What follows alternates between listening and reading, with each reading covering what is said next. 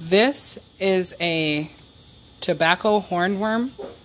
And the reason why you can tell the difference between this and a tomato worm is that it has a red horn and it has white stripes that are not shaped like a V.